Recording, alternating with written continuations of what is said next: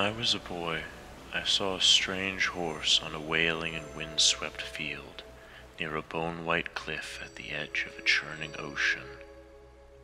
Its hide was the darkest, glistening green, its flanks were spotted with verdant algae, and its mane was woven from long strands of slick kelp, adorned with amber polyps woven in amongst the fronds like a veil of pearls. My Nan had told me stories of these strange creatures. A kelpie, it had been called.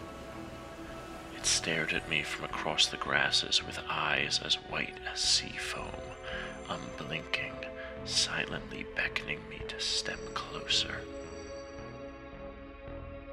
The other children ran towards the strange horse, climbing atop the steed without invitation or hesitation. But I did not mount the beast. Upon looking closer, I was struck with the kelpie's beauty, the sweet smell of the salt brine in its hair, the shadows that ran down the contours of her noble head, haunting and hallowed in equal measure. It was freedom, it was mystery, a refugee of dreams that had shown itself to me. I felt honored standing on that cliffside. I was the luckiest boy in the whole world. I pet my hand across its seaweed mane, and for a moment we were one. But dread soon settled on my heart as I realized my hand was stuck to the kelpie's membranous hide. In a panic, I drew from my belt my mother's shucking knife, the crooked blade she had used to carve treasures free from the grit and gullet of sea clams.